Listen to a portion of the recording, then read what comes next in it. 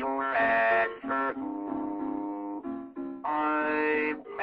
I'm crazy all for the love of you.